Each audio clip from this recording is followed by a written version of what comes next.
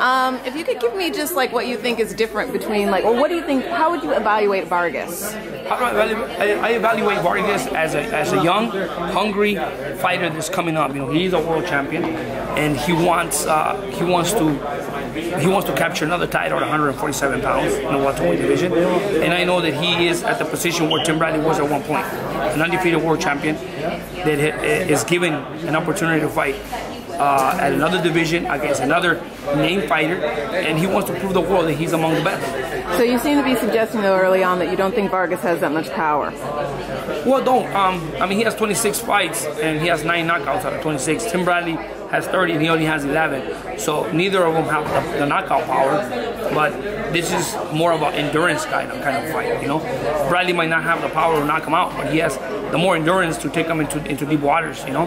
And I just think that, you know, Vargas doesn't have the experience that, that Tim Bradley has against the oppositions that he's faced. Okay, so you think it's going to be more a question of just that hardness, that mental and physical toughness that Bradley has? Yes, it's just about the physical and mental hardness that Bradley brings to the fight. See if Jessie can deal with it.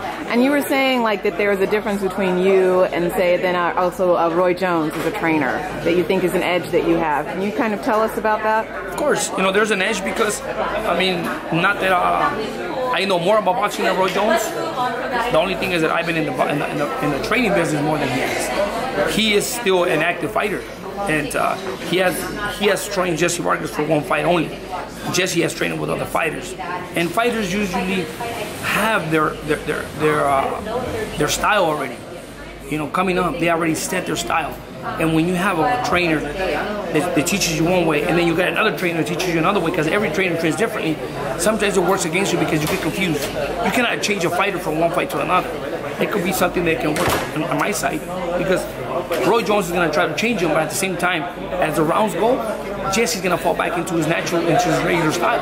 What do you think his regular style is? Whatever it is, I mean, he, Roy Jones wants him to box. I know he wants him to box because Jessie Vargas, I see him come forward. At points, he's a brawler, but he don't know how to box much. I guess Roy Jones is trying to change him as a boxer, and that's going to be a problem. Bro, what did you think about the Mayweather versus Pacquiao fight? What you saw is what I thought. I honestly thought that was going to happen. I honestly thought, you know, I've always said it. I've always said it, and this is the way I always say it. Mayweather is a welterweight. He's a bigger man. Pacquiao's a smaller guy. Mayweather is a great boxer, counterpuncher, great reflexes. Manny Pacquiao only looks good when you go hunting for him and you're standing there so he can unload furious punches. But when you don't have a target in front of you, Manny Pacquiao cannot catch you. And at the same time, Mayweather is a smart fighter. He's a business person that he was going to dictate the pace of the fight to the point where if he felt that he was going to jeopardize his, his, undefeated record, he was going to pick and move, pick and move, rounds in his pocket, and walk away with a victory. And that's what he did. what did you think? I actually I had another question. I wanted to know, like, just it seems like with you and Bradley, like you guys change up things so much. Like he's always reading different things, he's trying so many different things, and you know, like you're constantly evolving, like more than other trainer like coach relationships. Like, would you say that that's accurate, or would you say that that's you know, maybe overstated? The thing is, the thing is that uh, Bradley and I bond because you know we have mutual respect for each other, and we never lose that. You know, he believes he believes highly on me because I always make the decision that you know that will get him to to win, and I always prove to him from the beginning of his career. I always told him, Bradley, this is this is what you need to do, and this is what's going to happen. And he always says, Coach, you were right. And he always tells me, Coach, when you tell me when you tell me what to do when I do it, I'm always good. When I go on my own and do things my way, I always get into problems. And it's always been right, you know, and because I want the best for him, and he knows that I've always want the best for him, and I want him to be successful and keep winning. Uh, sometimes I ask him to do something in the ring, but sometimes he can't because he's not capable or physically capable of doing it. But other than that, if he does it, he's good. So do you think his versatility then is to do more with something where you're like correcting for injuries and different things, and that's why? Well, we have to improvise at points. That's why when we're when we're in the gym, we prepare for all that. That's why we we don't leave anything behind. When we're at the gym, we train, we prepare, and even for injuries. And there's points in which uh, it might it might be silly, but we put a patch on his eye so he can spar with one eye. We switch to the other side, he can spar with one eye. You never know. When I get shut, he needs to he needs to finish the fight.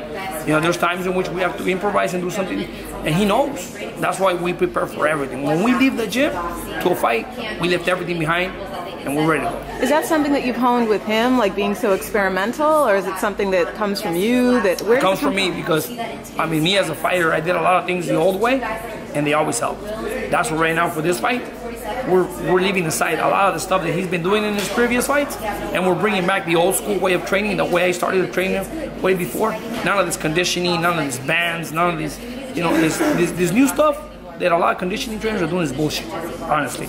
I mean, you go back to the old school way, the way the old school fighters that's what works. You know, a lot of people right now, they're, they're, they'll come up to a gym and say, I'm a, a strength and conditioning coach. And they bring a bag full of bands and this and this and that. That's bullshit. Honestly, I can tell you that. I mean, everybody wants a job. Obviously, they, they're looking for a job. That's what you want.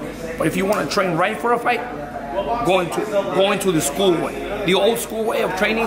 When you got a medicine ball, when you got a tire, when you got a slash hammer, when you got a wheelbarrow, when you got all that stuff, you know, that's conditioning. That's But training. it seems a little bit then like it's a little bit of contradiction because you say he always listens to you, and you guys have a strong bond, but at the same time it sounds like you went through all this conditioning stuff with him, and then you kind of had to bring him back, so like you had to convince him. And sometimes he's an adult. He's an adult. He's a professional person. He's a family man.